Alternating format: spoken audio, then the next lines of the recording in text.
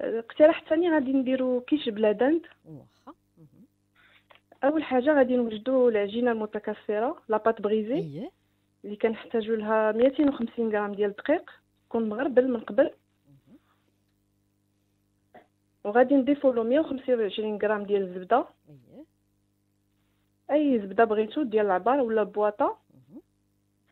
وغادي نضيفو شوية ديال الملح وغادي نرملو مزيان آه، خليط ديال الزبدة والدقيق حتى ما تبقاش باينة لنا الزبدة من بعد غادي نجمعوها ببيضة مهم. وما وما ندلكوهاش غير تجمع لنا فقط ونحتفظوا بها في بلاستيك غذائي ونوضعها في. الثلاجه وغادي ندوزو باش نحضروا الحشوة اللي كنحتاجوا لها تقريبا ربعة ديال لادند مهم. مقطعة طريفات صغار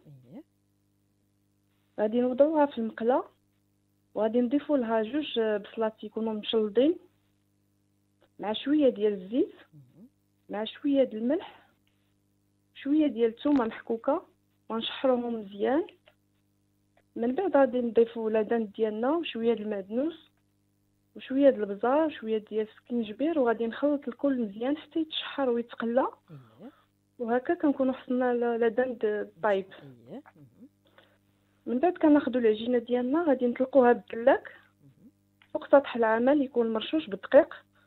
ما تكونش رقيقه بزاف وما تكونش متوسطة. كناخذوا المول كنلبسوا به العجينة مزيان كنطلعوا الجوانب كلها وكنثقبوها في الوسط. وغادي ندخلوها المجمد واحد 15 دقيقة تقريبا غير باش تشد لنا راسها. من بعد ندخلوها للفران ونطيبوها نصف طيبة. اييه ونخرجوها. وغادي نوجدوا هاد الكريمة اولا l'appareil اللي كنحتاجوا لها. oui كنحتاجوا لها كاس ديال دانون مسوس يمكن لكم تعوضوه ب la crème fraîche. ونص كاس ديال الحليب. وجوج بيضات. شوية ديال الكوزه محكوكة. وشوية ديال البزار. شوية ديال الملح شوية ديال الثومه محكوكة. وجوج معالق كبار ديال النشا أو مايزين. أييه نشا أو- أييه. مزيان. ونخلطوا الكل مزيان. وغادي ناخذوا الحشوة ديالنا. غنوضعوها فوق العجينة ديالنا بعد ما خرجناها من الفران. وغادي نفرغ عليها هذا الخليط اللي حضرنا دابا. وغادي ندير فوق منه فرماج محكوك اولا موتزاريلا. وغادي ندخلها للفران.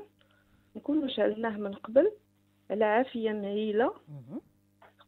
حتى يبان لنا الجوانب تحمروا لنا ديال لاكيش. وعاد نشعلوا عليهم من الفوق. تحمر الوجه ديالهم أييه. هذه هي أييه كيجي زوين. لاكيش ديالنا د لادانت واخا. كنقدمها لكم بالصحة والراحة. الله يبارك فيك تحياتنا ليك.